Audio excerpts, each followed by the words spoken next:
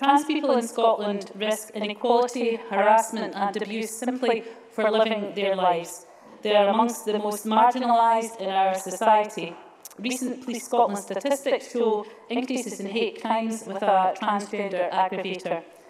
As a society and a parliament, we have a responsibility to protect and support minority groups at risk of harm. Under the Equality Act, we have a legal duty to address discrimination against those with the protected characteristic of gender reassignment. And Scotland must have a system of gender recognition in order to comply with international human rights law.